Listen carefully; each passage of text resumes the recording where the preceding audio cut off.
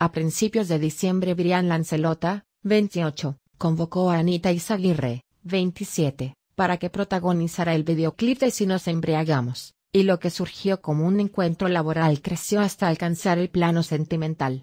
Si bien Brian en diálogo con Ciudad definió el lazo como relación a la distancia, la actriz de Explotados se explayó respecto al afer. No, no somos novios. Tenemos la mejor desde el día que grabamos su clip. Nos estamos conociendo. Todavía no pasó nada, pero hace unos días él vino a Carlos Paz donde estoy haciendo temporada y nos acompañamos a SOS, salimos a cenar, a bailar. La verdad que la pasamos bárbaro juntos y no queremos apresurar nada. Que pase lo que tenga que pasar. Pero si no podemos negar que hay onda, afirmó la cordobesa de Huinca Renanco a este sitio.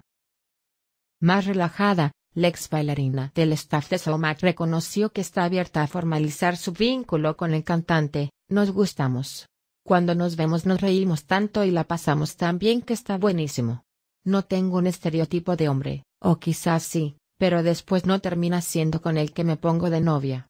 Así que no sé qué puede suceder. Él me parece una persona súper transparente, humilde, compañero.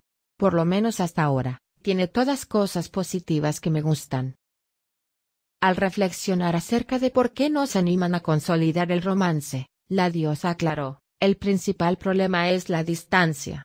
Nos escribimos todo el tiempo y siempre la mejor. Además, nos juntamos varias veces a comer, pasear nuestros perros. Todo comenzó después del video. No hubo más que algún que otro beso, pero nos seguiremos conociendo ja, ja. Por último, Anita Izaguirre bromeó respecto de las charlas vía celular que tiene con Brian Lancelota, jamás mando fotos hot. Después se filtran y me mato ja, ja, ja. Soy tímida para eso.